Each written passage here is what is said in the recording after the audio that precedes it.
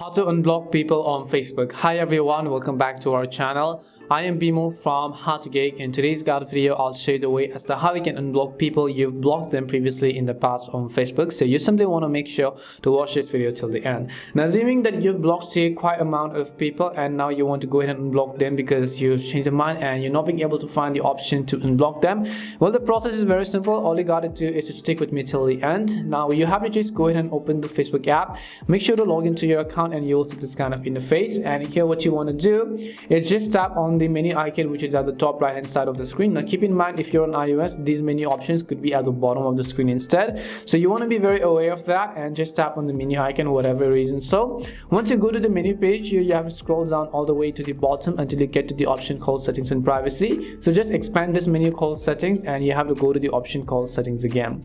Once you do so you'll be taken to this page. Now over here you can see the option at the top that says profile settings. So just go ahead and select that.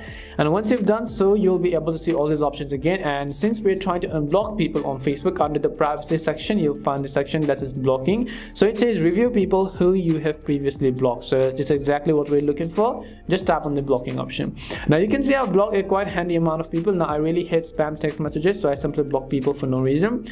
And if you want to unblock them you'll be able to see the unblock button on the right hand side of the screen. It'll ask you for a confirmation. Do you really want to unblock it? You can tap on the unblock button. Now i'm not really going to do that because i blocked them for a specific reason and i don't want to unblock them just really but you can just go ahead and unblock them if you want to. Once you do so keep in mind that if you were friends with them before they're also going to get removed from your friends list. And if you try to send them a friend request they're most likely going to know that you block and unblock them.